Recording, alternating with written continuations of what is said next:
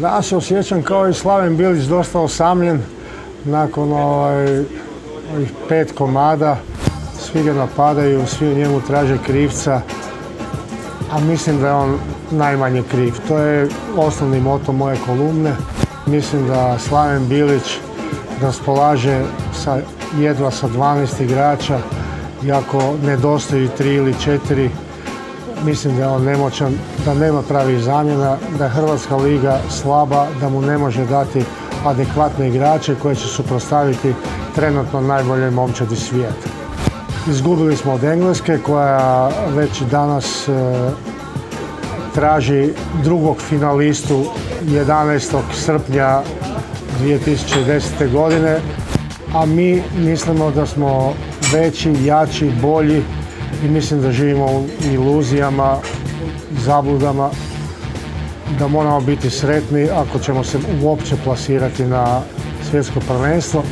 U kolumni ću pisati malo i o atmosferi oko utakmice koju su stvorili engleski mediji e, gdje su nas e, proglasili fašistima, nacistima, citirali su Thompsona i davali slike sa njegovih koncerata.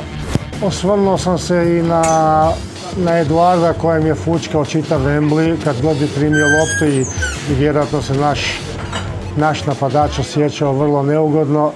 Mislim da i Englezi imaju sličnih grijehova iz prošlosti kad je Jeffrey Harst 66. zabio pobjedonosni gol u finalu svjetskog prvenstva protiv e, Njemačke a nikada nije dokazano ili taj gol bio, ili nije.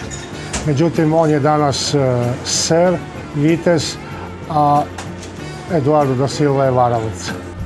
Napisao sam u svojoj kolumni da u, u Ukrajinu idemo pod križem Svetog Đorđa i da se navijemo za Engleze i da se nadamo da će naši ovaj, u Kazahstanu napokon pobijediti jednu od najslabijih momčadi u grupi svakom slučaju siguran sam da će Englezi igrati u dobrom sastavu.